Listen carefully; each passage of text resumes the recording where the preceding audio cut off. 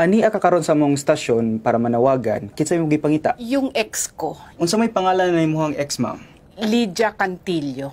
Mura lagi siya babayg pangalan no? Oo, babae ho siya. I'm a lesbian. Ang ibig niya sabihin na she's a lesbian. She's 66 years old, for God's sake. May age limit na yung pagiging tibo. Muerte Santísima, que me tienes que considerar. Kanina pa kita tinatawag. Nasaan yung Louis Vuitton bag na ibibigay ko kay Monique, ha? Sige, sumagot na! Ha? Ano yan? I love you daw. Don't panic! Ano ka ba? Pupuntahan na lang kita dyan. Para ka naman nakapatay ng tao, ha?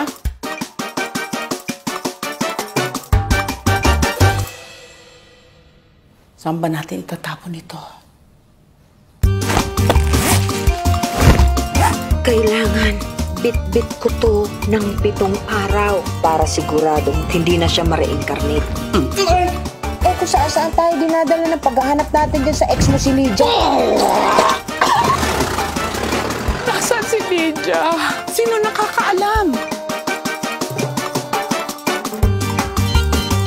Wait lang po, ma'am. May nakita po kami. Pakibukas na lang po. Matandang kriminal na malapit na talagang pumasok sa bilangguan. Wow! Matandang tibong amoy mothballs kasi kalalabas pa lang sa closet.